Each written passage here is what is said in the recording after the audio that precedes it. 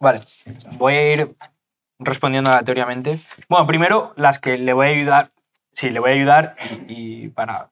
ti- Tiene razón en algunas cosas, eh, sobre todo cuando habla de que Bitcoin es muy lento, sí, las acciones de Visa se realizan 65.000 al segundo, de Bitcoin a 7, sí, es bastante lento, pero es que tiene que ser lento, es parte de su función. Es decir, tú cuando tienes un, un medio de intercambio, puede ser seguro, puede ser descentralizado, No, no. puede ser... Perdona, ¿no tendría por qué ser lento?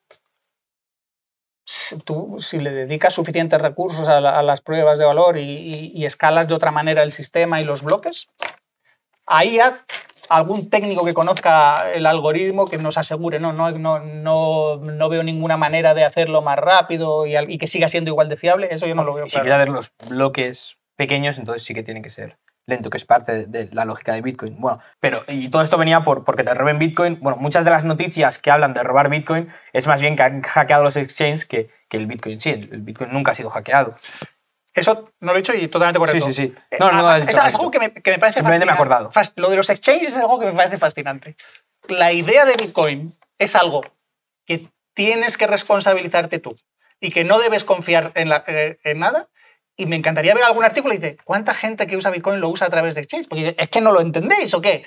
El exchange te lo pueden hackear, te lo pueden robar, pueden quebrar. Pero es, es un riesgo que puede estar dispuesto a Ah, asumir. bueno, que sí, que, pero entonces ya estás diciendo, Bitcoin es cojonudo, porque, porque, porque, porque descentralizado y desconfianza total. Y de repente dices, uy, y Bitcoin, pero, pero con, con confianza. Sí, sí, bueno.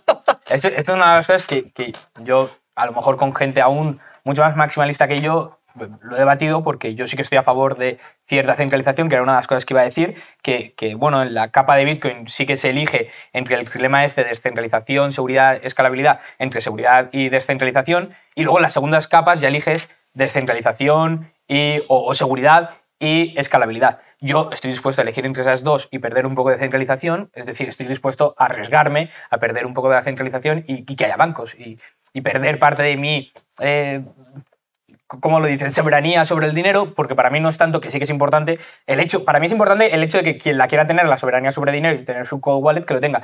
Yo personalmente lo tengo todo en Exchange porque me gusta tenerlo ahí todo en, en ahorros flexibles, me gusta, eh, y, que por cierto, bueno, tocando el tema, no tiene nada que ver con esto, pero para quien diga que la reserva fraccionaria es imposible con los exchanges, mm, para nada, ya se hace, yo tengo mi dinero en ahorros flexibles, significa que yo se lo presto al banco y cuando voy, a mi exchange, perdón, y cuando voy y lo pido, me lo, me lo tienen que dar y lo hacen, es decir, ya existe reserva fraccionaria como una cosa completamente aparte, pero para la gente que va diciendo eso por ahí. Eh,